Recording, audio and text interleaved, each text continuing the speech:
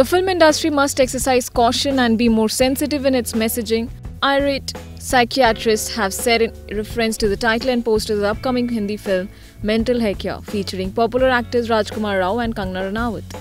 The Indian Psychiatric Society on Thursday wrote to the Central Board of Film Certification, raising serious objections to the film's title.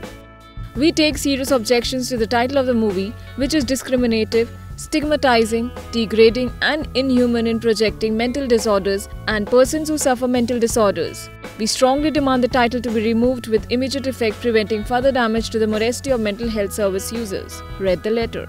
The poster of the movie was launched recently with the caption Get ready for craziness that cuts through. A motion poster further reads This June witness two mentals collide before breaking into a montage of images with the words crazy, bizarre, crack, freaky, wacky, curtsy, weird, or psycho.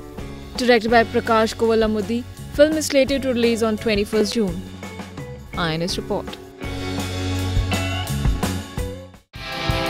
Subscribe to our channel. Just click on the bell icon for all the latest updates.